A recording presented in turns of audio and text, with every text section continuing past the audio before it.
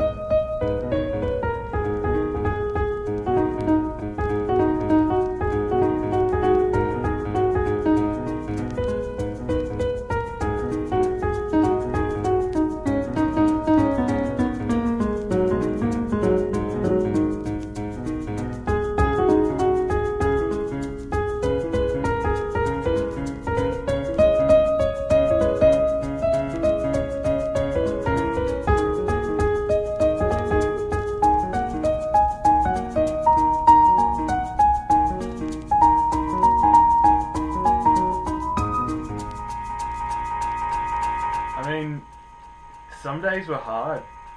Some days were really, really hard. And it was a really low point. We'll definitely probably consider giving up and sticking with our four out of ten early early bird competition marks. But um, I mean those things happen in real life. Real engineers come across those problems. You just gotta get back up, have a look at what else you can work with, and give it another crack.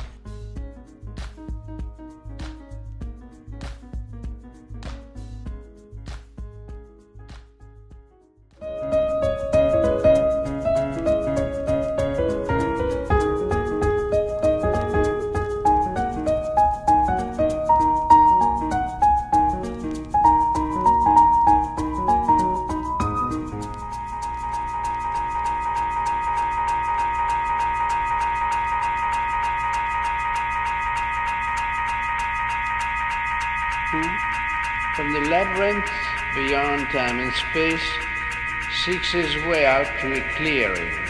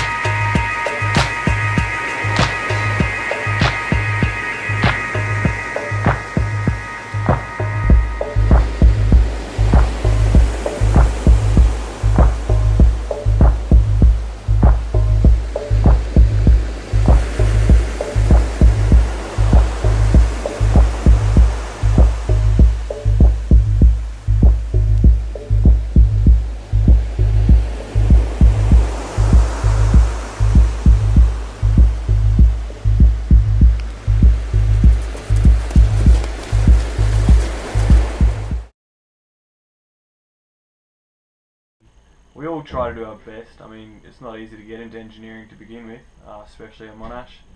Um, because we've all worked hard to get there. We're all obviously capable, but we're not the top HD students. We're just any average bunch of guys who want to give it a crack and do the best they can.